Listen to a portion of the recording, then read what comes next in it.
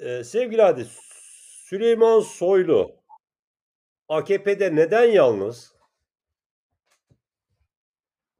Yalnız mı? E, sana soruyorum. Öyle görünüyor. Ha, şimdi Sayın Bahçeli'nin Sayın Bahçeli'nin desteğiyle İçişleri Bakanlığı'nda kalabildiği yorumları yapılıyor. Ki Sayın Bahçeli de her sıkıştığında İçişleri Bakanı Soylu'ya açıktan destek veriyor. Yani görüntü öyle.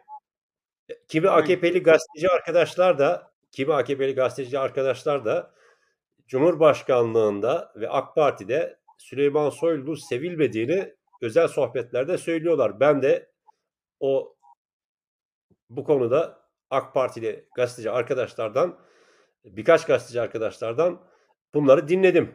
Yani e, Soylu efendim aslında görevden alınacak, almak istiyor ama e, bir krize dönüşmesin diye e, tutuyorlar.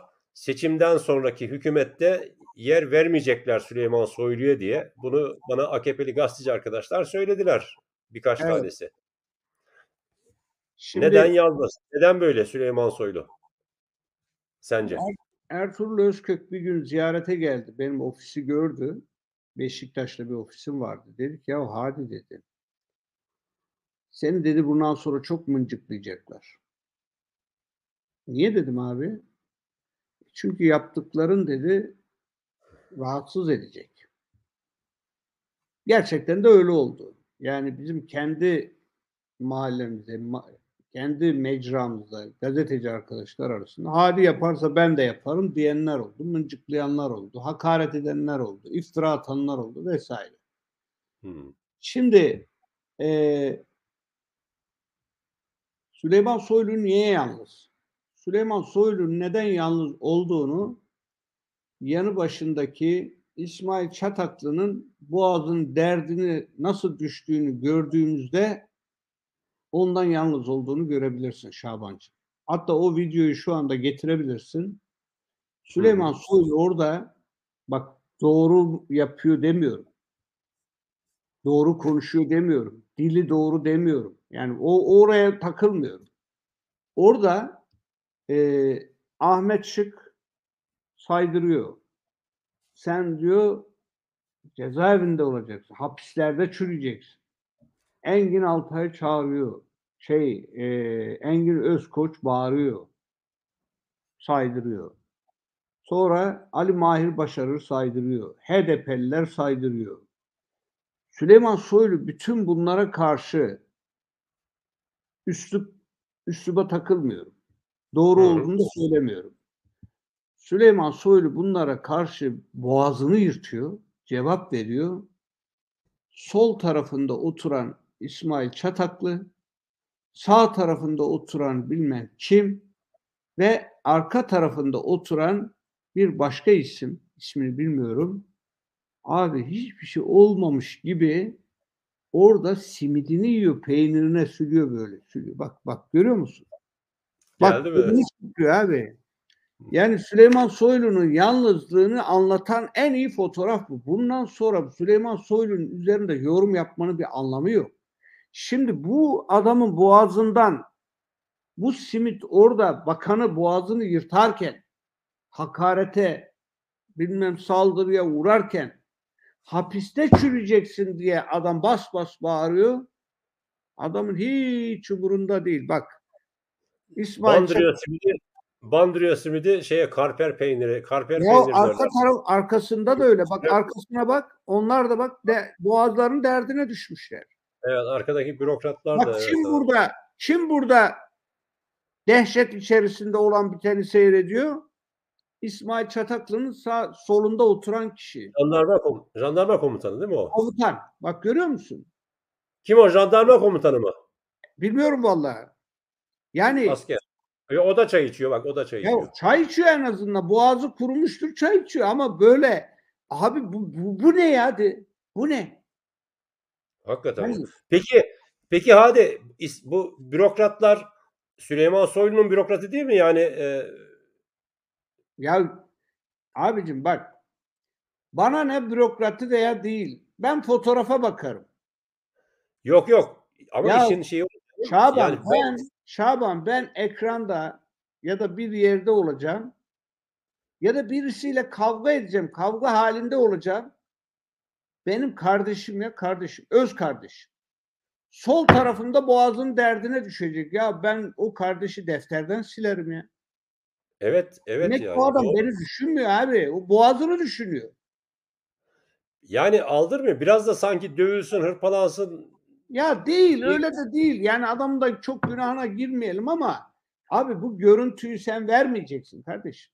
Sen, Şimdi şunu merak sen ediyorum. Hadi bak. gazeteci olarak bir yere giderken Hadi. Şu- Bak şunu söylüyorum. Bir dakika. Şimdi biraz önce güzel bir örnek verdin. Sen diyelim ki biriyle kavga ediyorsun. Ee, senin yardımcın da diyeyim, şirketindeki senin yardımcın da umursamıyor. Simit yemeye devam ediyor sen birisiyle kavga ederken. Onu işten atarım diyorsun. Ben de atarım. atarım. Atarım. Ama- Gözün yaşına bakmam. Ben de, ben de atarım. Ama şöyle. Onu işe sen almışsındır zaten. Sen Aldım. aldığın için sen aldığın evet, için aldım. dolayısıyla sen Aldım kavga ama- ederken bir Aldım dakika. ama evet. aldım ama bu kadar boğazına düşkün olduğunu bilmiyordum kardeşim ya. Ya boğaza bileyim? düşkünlük olay değil. Hadi şöyle. Eğer Süleyman Soylu'yu patron olarak görmüyorsa patronu Abi atıyorum. Şaban burada olayı farklı yöne çekmenin anlamı yok. İsmail Canım? Çataklı, İsmail Çataklı Süleyman Soylu'nun ekibinden olan sadakatiyle bilinen birisi. Bu net. Evet. Ben biliyorum Okey o yani çok iyi O biliyorum. zaman nasıl? Nedir o Ama- zaman bu hareket? işte düşüncesizlik.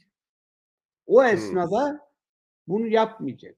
Sen gazeteci olarak bir yere gidiyorsun, bir kafeye gidiyorsun, lakayt hareket etmiyorsun. Millet olan, milletin gözü benim üzerim. Ulan bir kere de sen böyle bir gırgır şamata yapma şeyine düşüyorsun. Özlemini çekiyorsun.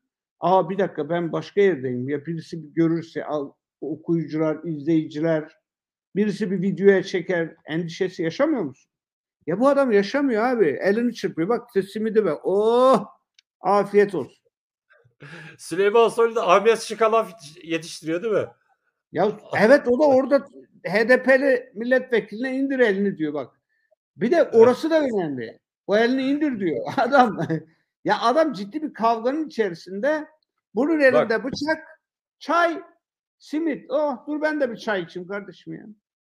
Susam, susamları bile Okan Övüç yazıyor ki susamları bile toplayıp diyor şey yapıyor. Simidin üstüne koyuyor. E şimdi Onları da doğru yiyor. mu? Allah'ını seversen. Efendim? Heh. E şimdi şimdi tekrar söylüyorum. Süleyman Soylu'nun yalnızlığını anlatan en iyi fotoğraf. Evet. Başka bir şey Peki. söylemeye gerek yok. Peki, ama şimdi sen dedin ki şimdi bence hadi bu yalnızlık anlamında değil. Bu eki, ekibinin düşüncesizliği, dikkatsizliği, yalnızlık yani siyasi yalnızlık dediğin e, parti içinde siyaseten yalnız olmak, sahip çıkılmamak. Öyle ama Şimdi burada e, sen diyorsun ki ben onun için sordum ya sana. bak Yani bir dakika. Şaban? Şaban televizyon televizyon tartışmalarına çok sık katılan iki kişiyiz. Sen karşıda oturuyorsun. Ben karşıda oturuyorum. Ben sana saydırıyorum. Saydırıyorum. Senin yanında seninle aynı düşüncede olan kişi ne yapar? Bir dakika der, haddini bil. Bu kadar da değildir. Bu televizyonlarda olmuyor mu? Oluyor. Evet, evet oluyor. Evet, Peki evet. Ben sana bir şey söyleyeceğim. Şamil Tayyar'ın dışında bu komisyondaki bütçe görüşmelerinde Süleyman Soylu o kadar mücadele, o kadar laf, o kadar bilmem ne. Şamil Tayyar'ın dışında AK Parti'de bir kişi, tek bir kişiye çıkıp da dedim ulan Höst bizim İçişleri Bakanımıza böyle diyemezsin dedi mi? Demediler mi? Dedi mi? Dedi mi? Demedi. Bir tek Şamil Tayyar. Peki neden Yani- yalnız? Neden? Yani Süleyman Soylu'nun Erdoğan'ın yerine geçme niyeti mi var? Ya da Ya Erdoğan bıraktıktan sonra Ya şimdi yok şöyle bir şey kardeşim. Bak Hadi şöyle- ben yine Süleyman Şöyle- Soylu Hı. 2023 seçimlerinde Tayyip Erdoğan eğer seçimi kazanırsa ki kazanacak görünüyor siyaseti bırakacak. Kazanacak görünüyor şeyine itiraz ediyorum. Ben Ama kazanacağını neyse, sanmıyorum. Ya da, ya da kaybederse Kaybederse kaybederse o zaman siyasete tam gaz muhalefette devam edecek. dur. Süleyman Soylu bu. Evet. Yani bir dakika. Erdoğan seçimi kazanırsa bırakacak mı Soylu? Evet. Kaybederse Erdoğan Kaybederse Süleyman Soylu Erdoğan'la birlikte muhalefete devam edecek. Ha, Erdoğan'a destek olmak için. Tamam Yok. anladım. Yani Erdoğan'a destek olmak mı artık Türkiye'de muhalefetin nasıl yapıldığını göstermek mi adını ne dersen de. Peki şimdi Erdoğan seçimi kazanır da tekrar Cumhurbaşkanı olursa Süleyman Soylu siyasete veda edecek. Evet. Ama Erdoğan, Erdoğan seçimi kaybeder ve muhalefete düşerse Süleyman Soylu Erdoğan'la birlikte siyaset yapmaya devam edecek. Doğru mu anladık? Hı hı. Tamam. Peki sen dedin ki biraz önce Süleyman Soylu ile ben işte bir buçuk iki yıldır görüşmüyorum dedin. Bu Sedat 19 Peker aydır görüşmüyorum. 19 aydır görüşmüyor. Bunu nereden biliyorsun? Bu çok mahrem bir şey. Yani siyaseti bırakacağım lafını nereden duydun kendisiyle konuşmadığın halde? Tamam eski dostun ama ay, kopmuşsunuz. Nereden biliyorsun? Bu mahrem bir bilgi değil mi? Evet, mahrem değil yok. Yani dostlar arasında konuşulan bir bilgi. Hmm. Şimdi bak Sana nasıl ge- geldi? ben- yani Süleyman işin hani ciddi mi doğru mu anlamında anlamında Şu- soruyorum. şu- aslında e, senin e, nezaketini elden bırakmıyorsun. Sağ olasın. Onu bunu şöyle yorumlayanlar oldu. Hadi Özışık'la Süleyman Soylu takiye yapıyor. Süleyman Soylu Hadi Özışık üzerinden mesaj veriyor. Bak ha bırakırım, yok şöyle yaparım, böyle yaparım. Bak Süleyman Soylu e, benim 40 yıllık bir arkadaşımdı, dostumdu Ha, ve ben 19 aydır Süleyman Soylu ile görüşmüyorum. evet. Ne telefonla, ne yüz yüze, ne mesajla hiçbir görüşmemiz olmadı. Ama bu 40 yıllığın, bu 40 yıllık dostluğun vermiş olduğu bir dostluklar ortamı da var da Şaban. Ya çevre çevre çevre Yani o, o bizim bizim Süleyman Soylu'yla eee dost olan çekirdek bir kadromuz var. Ben o kadroyla şu anda küs değilim. O kadroyla biz, biz hala görüşürüz. Arkadaşlığımız devam eder, dostluğumuz devam eder. Hiç hiç sıfır eee, sorunla biz bu arkadaşlığımızı devam ettiriyoruz. Dolayısıyla yani eee, Süleyman Soylu ile görüşmeme gerek yok. Zira ben eee, yalan çıkacağına veya yanla, yalanlanacak olan bir haberin altına imza atmam. Anladım. Ama eee, şey Şamil Tayyar gitti ertesi gün Süleyman Soylu ile görüştü. Ne iş bu dedi. Hadi Özışık dedi. Eee, şey yapmış. Böyle bir haber yapmış. Sen mi söyledin diye soruyor. Şamil Tayyar soruyor. Yok ben Hadi Bey'le görüşmüyorum demiş ama yazdıkları doğru demiş. Ha.